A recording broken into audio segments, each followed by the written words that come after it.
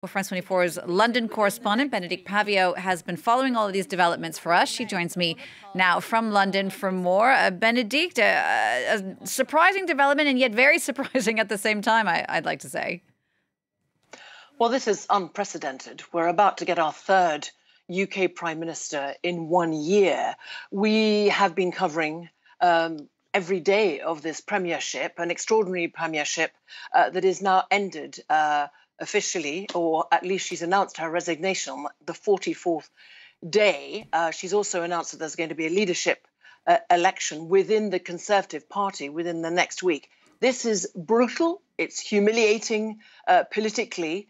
Uh, it's been only six and a half weeks that she's been in the job. And as you said, it is very much that so called mini budget on the 23rd of September and that contact with reality of her wanting to be disruptive, not to follow what is called, or she called, orthodoxy of the finance ministry here, uh, and the huge turmoil in the markets with uh, interest rates uh, having to go up. Uh, the pound being battered, uh, the pound suffering against the euro and the dollar, now back up, but only after interventions of the Bank of England.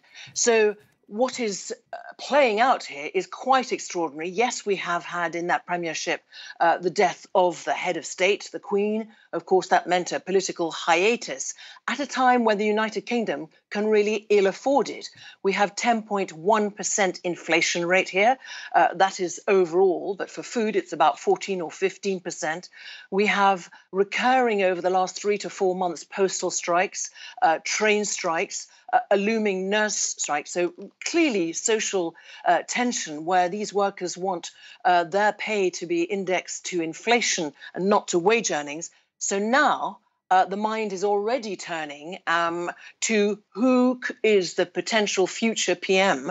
Jeremy Hunt, uh, the new Chancellor of the Exchequer, the finance minister since last Friday, has ruled himself out.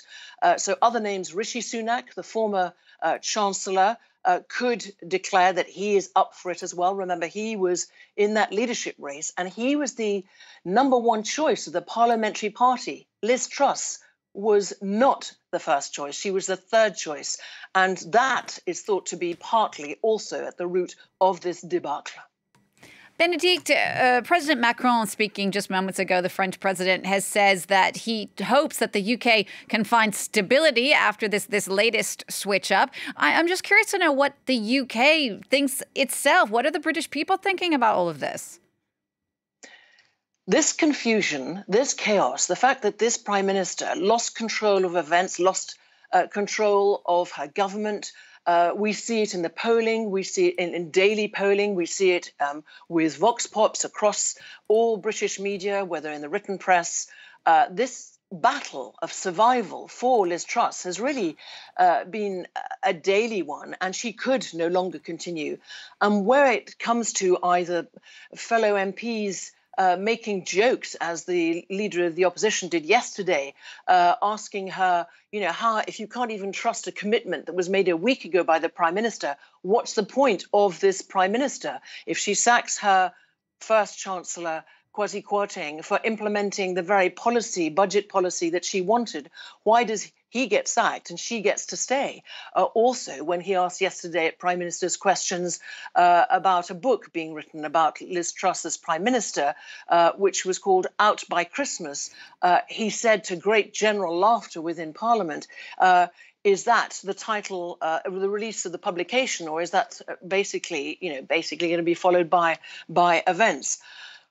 Only 24 hours ago, the Prime Minister, Liz Truss, she's still still prime minister as we speak, but of course as has announced her resignation, said she was a fighter, not a quitter. But she has today quit. She stays on as caretaker. She's spoken to the king, the head of state, as any prime minister must do. The big question will be for whoever does succeed her within the next week in this leadership election. Officially, the Tory party, the Conservative Party, command the majority in the House of Commons.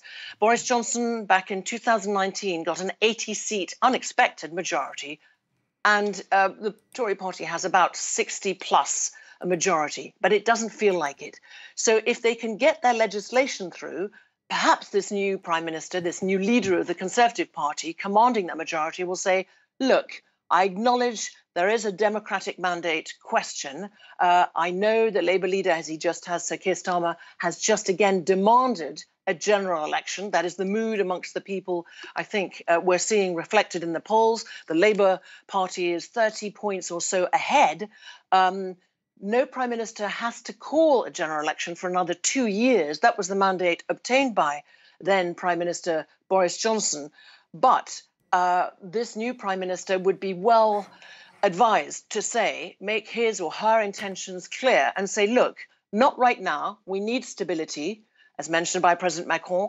But what I can promise is in the coming months, in the spring, for example, give us some time. We will call a general election. So much uncertainty, so much chaos. The new reality is, and the new clarity is, Liz Truss has just resigned as UK Prime Minister. She certainly has. Well, we're happy to have you as a constant, Bénédicte Paviot, reporting for us there from London. I'm sure we'll be checking back in with you throughout the day for the latest developments on the resignation of Liz Truss, the British Prime Minister.